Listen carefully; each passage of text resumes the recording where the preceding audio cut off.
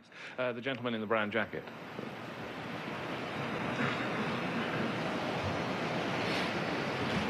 Uh, Roger Cohen from the New York Times.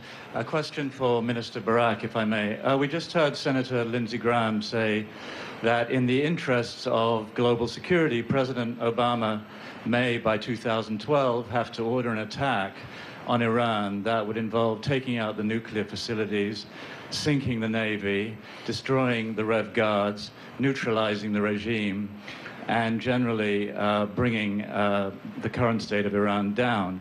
Uh, do you feel that this would be in the interests of Israeli security, and do you think Israelis would feel more secure as a result of such an attack? Thank you.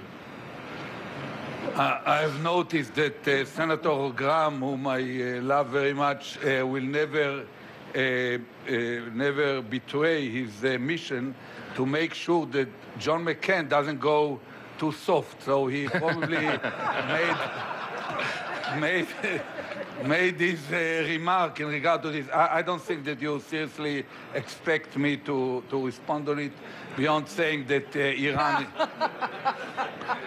Iran is a major, a major threat to any conceivable world order. Uh, it's clear to all of us that they are determined to reach military nuclear capability.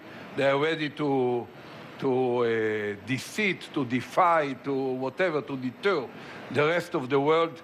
And think of it, you will end up finding that if, they, if we will allow them somehow to turn nuclear, and I should admit that it's still time for diplomacy and sanctions are working beyond uh, what most of us expected.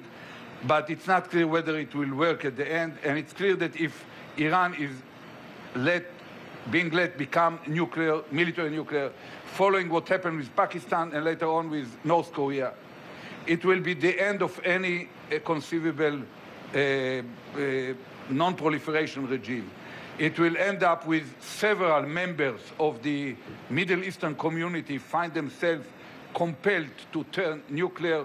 It will end up with uh, proliferation starting to, to slip out of the hands of countries into probably the, what the President Obama described as the uh, slippery slope toward having a nuclear, crude nuclear device in the hand of some terrorist group uh, in 15 years' time.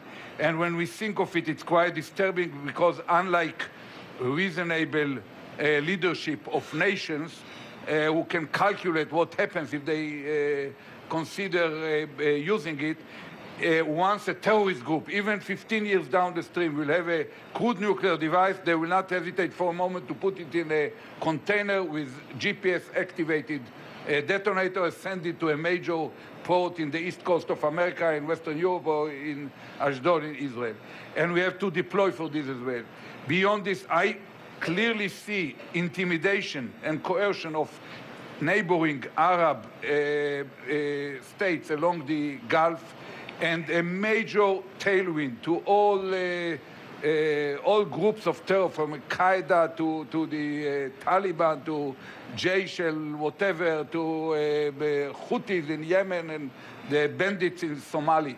So it's a major change in the landscape that should be dealt with sincerely, seriously, but not in front of TV cameras. Um,